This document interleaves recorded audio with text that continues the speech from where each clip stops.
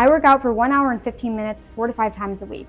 So an average of five and a half hours a week. I listen to audiobooks and podcasts, basically just educational content about business, investing, marketing, etc. This means I'm getting five and a half hours smarter a week and 308 hours smarter a year, opposed to if I just listen to music. I encourage you to do the same because you're going to work out anyway. On the screen, here are some of my favorite books and podcasts. So you might as well get smarter and hotter at the same time.